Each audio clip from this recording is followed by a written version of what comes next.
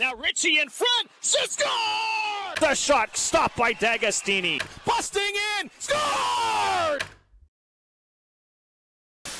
Brody Morris, the call up from yesterday with the Wellington Dukes, is with the team right now and gets to start the game. There's the shot, rebound, Betzel in, he scores!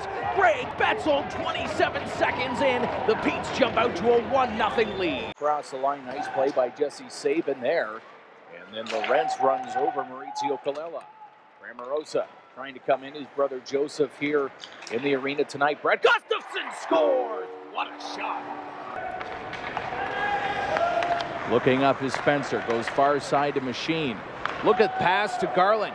On the change, Garland scores!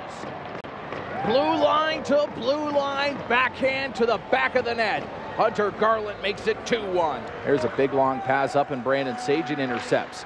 Sagen coming in across the line. Nice pass to Gustafson. Shot! Scores! It's in the net. So a three-point game neither team wants. Down low with it is Cornell. There's a shot. What a goal! Bullet time for Pancel, his 16th of the year.